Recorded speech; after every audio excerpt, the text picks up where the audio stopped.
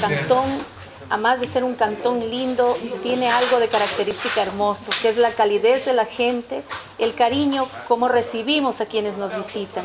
Y en este día ustedes nos conceden ese honor de tenerlos aquí y de poder compartir algo muy bello como es esta reserva que representa un orgullo para nosotros como piñacienses. Aquí está don Marquito, quien es el que está al frente de toda la organización del control de la preservación de la flora, de la fauna existente aquí.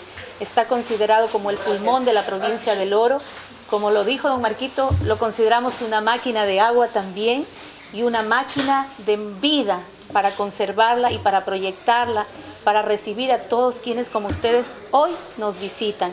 Bienvenidos a nuestro cantón, bienvenidos a nuestra ciudad de Piña, siempre las puertas abiertas de nuestra ciudad para que ustedes lleguen y nos puedan visitar. Hermosa zona de la provincia de Oro y la gente tan hermosa que encontramos aquí.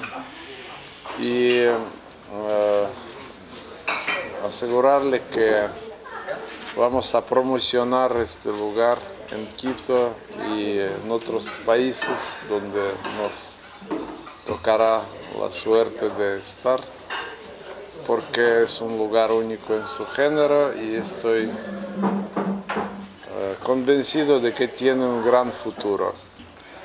Quiero que en nombre de todos los miembros de la delegación de Rusia, en el mío propio, desearles todo lo mejor, muchos éxitos, su labor tan noble y felicidad y ventura personal.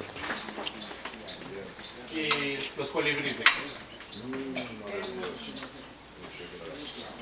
pueda ver la variedad de aves que tenemos y para usted también, señor cónsul, por favor.